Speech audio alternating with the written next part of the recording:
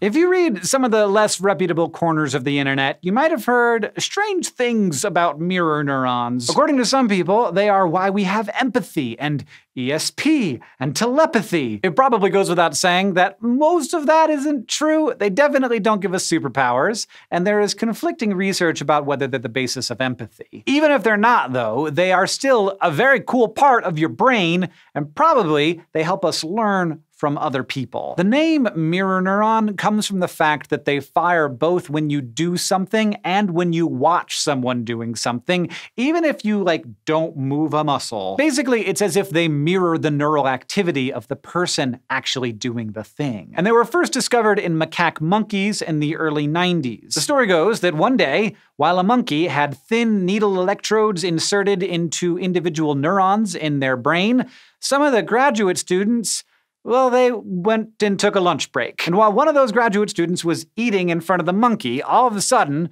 there was neural activity in the premotor region of the frontal cortex in the monkey's brain. This region would normally fire if the monkey was moving, like reaching for food or eating. But those neurons were firing while the monkey was motionless and just watching someone else do those things. Further research started mapping out exactly where these neurons were, and they're remarkably specific. Like mirror neurons that fire when an experimenter grabs a piece of food wouldn't fire if the experimenter used tools to grab the food instead. But the big question was whether this happened in humans too, because these neurons were in regions of the brain where monkeys and humans differ quite a lot. Of course, your average human study participant is a little fussier about getting electrodes planted into individual neurons inside of their brains, so scientists used electroencephalograms, or EEG to look for mirror neurons instead, as they record neural activity through the scalp. Researchers had 20 subjects watch an experimenter demonstrate some motions with their thumb and index finger,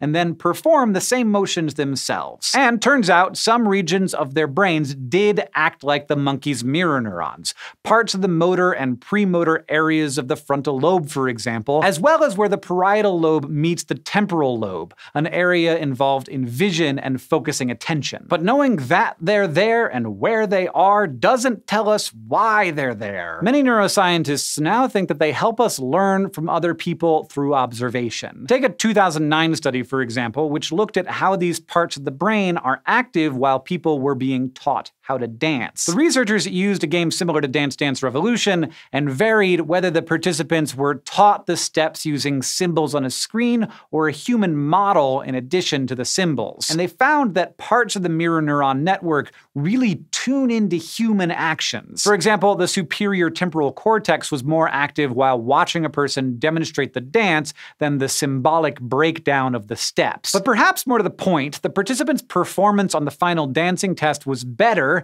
when they had a human to watch, which suggests that these regions support observational learning. Human mirror neurons aren't exactly the same as the monkey ones, though.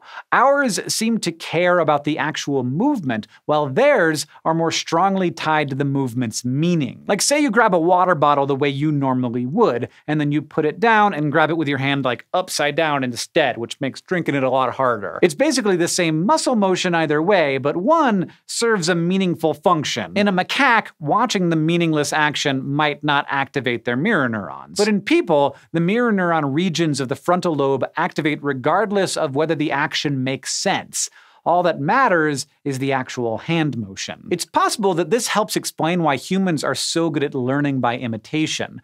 Part of our brain is always paying attention to motions that seem meaningless, just in case we can learn from them. Now, you might be wondering where empathy comes into all this. Well, when you think about it, if a part of your brain activates the same way when you're observing an action as when you're performing it, then it isn't that far of a stretch to think that these mirror neurons could be involved in feeling part of what someone else is feeling simply by seeing them express an emotion. And although this would be very cool if it were true, the research to date is kind of all over the place. Like one study did find that mirror neurons activate when people empathize with characters in scenes. In one scene, for example, the 18 subjects had to identify the emotions felt by both a son who was bringing home a failing report card and a dad who hasn't yet seen it, for example. And in addition to identifying the emotions of both characters in the story, they had to guess what both characters would be experiencing if they had more information. One of the mirror neuron regions, the inferior parietal lobe,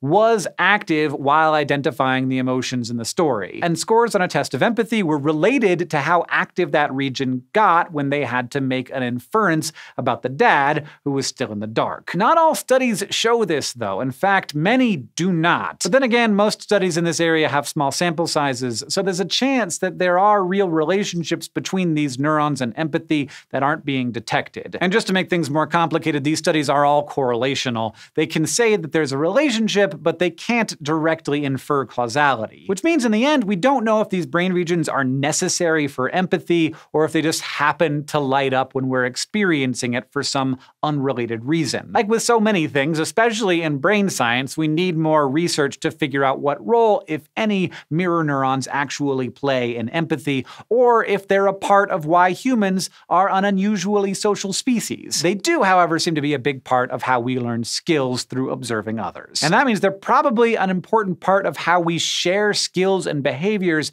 and pass knowledge down from generation to generation. So no matter what, they are a big deal. They likely are playing a huge role in culture and in all those things that just make us human. Thanks for watching this episode of SciShow Psych, and a special thank you to all of the people who support us on Patreon, because we really couldn't make this show if it weren't for you. If you'd like to learn more about how you can be one of those excellent people who support this, you can find out more at patreon.com slash scishow.